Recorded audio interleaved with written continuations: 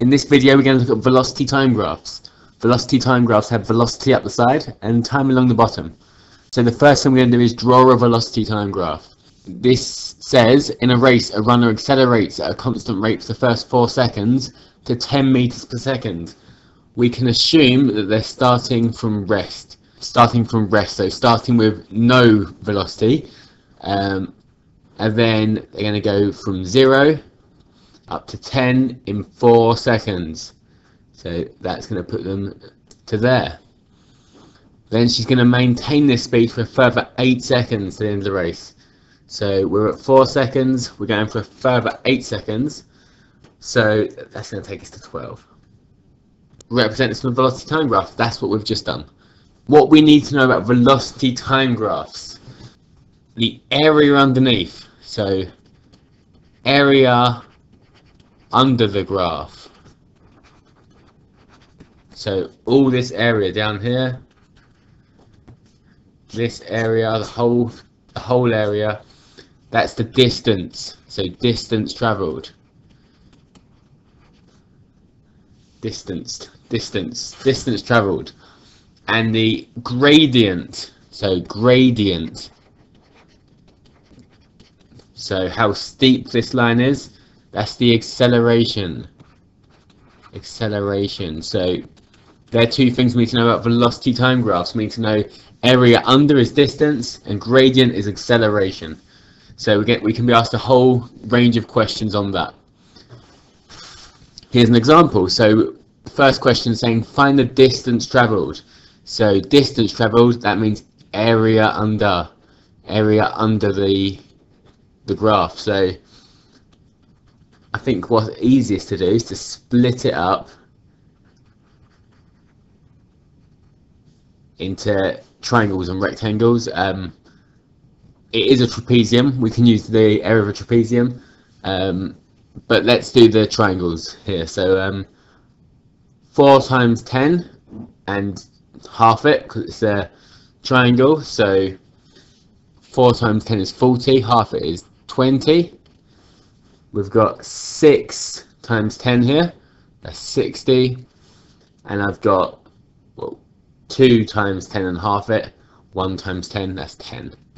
So the distance travelled in this example is 90. So 90 meters. So 90 meters.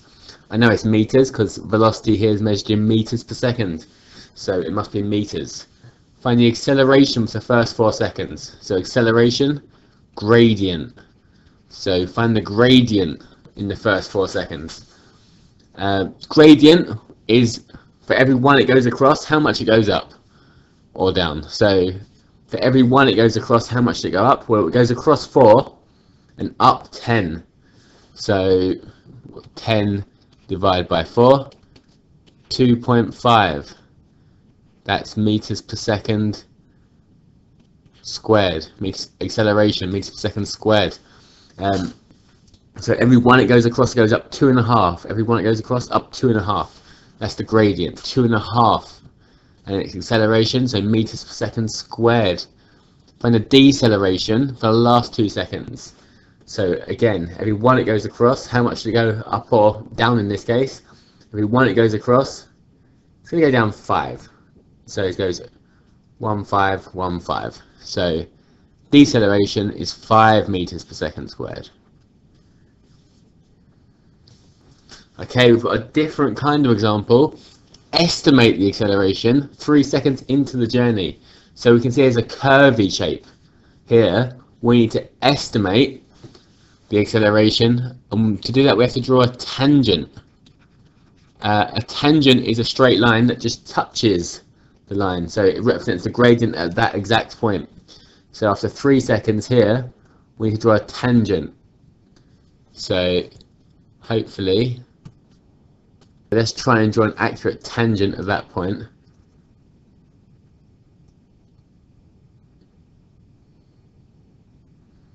Slightly hard to do with this these thick lines. Um,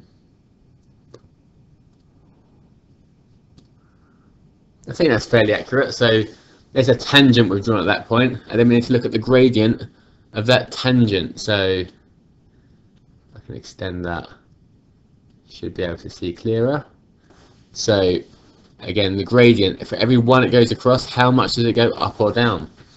So, it's a good point. So it seems to be crossing there. So it goes across. There's another good point. Another good point. Let's let's take this one here. So the whole line's length. So go it goes across one, two, three, four, five, six, seven. So seven there, and it goes up. Oh, a six. One, two, three, four, five, six, seven, eight. So for every one it goes across, how much to go up? Well, let's do 8 divided by 7, and then let's leave it as 8 sevenths actually. So 8 divided by 7, oh, I put it in the wrong place. See if I can grab that up. 8 over 7 meters per second squared. Find a deceleration for the last two seconds. Now it's a straight line, so a lot easier. For every one it goes across, how much to go up or down? One it goes across, one, two, three, four, five. So five meters per second squared. Okay, uh, pause the video, give this one a go. So the first question, estimate the acceleration 12 seconds into the journey. So let's draw a tangent, a tangent 12 seconds into the journey. So let's try and draw an accurate tangent. That's way off. Try and correct that.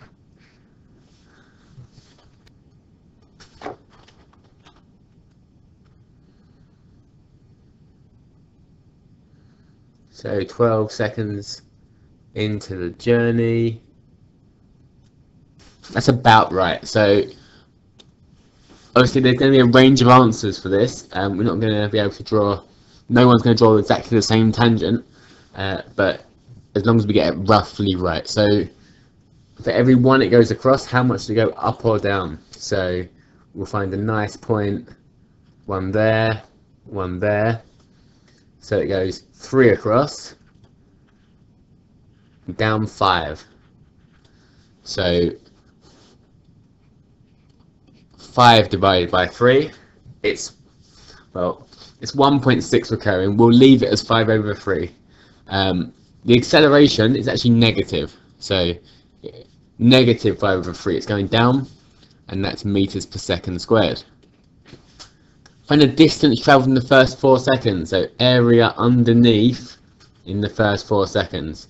So it's a triangle, so we're going to do 12 times 4 halved, or 2 times 12. So just put 2 times 12, half the base times the height. 2 times 12 is 24. That's meters distance. And the acceleration for the first 4 seconds. So that's the gradient again. Gradient. So for every one it goes across, how much to go up? It's 3. So the gradient is 3. So that's acceleration meters per second squared.